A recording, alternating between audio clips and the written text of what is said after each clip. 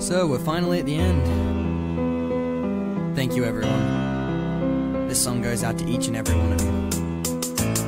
I had a damn good run, I didn't know that this would all be mine. All these fucking fans hanging on my every line. Admiration and accolades, cementing my place. May not have been the greatest, but I was never a disgrace. Sure, I fucked up once or twice, lost my footing on the pathway ahead. And sure, I fucked up when I didn't think about what I said.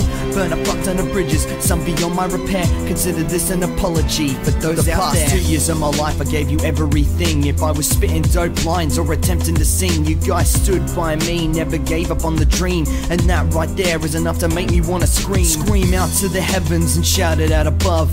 Broadcast all the thank yous and broadcast all the love. So even when I'm gone and when this journey ends, it's okay, I'll always be your best friends.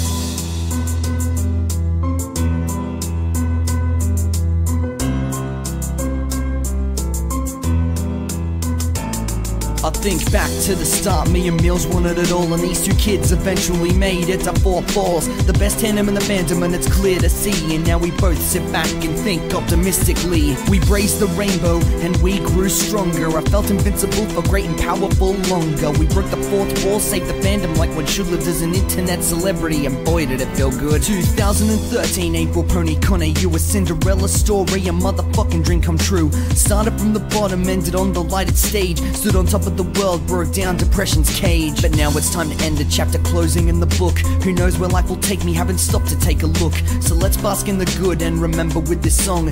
No, I'll never forget you and I'll always cheer you on.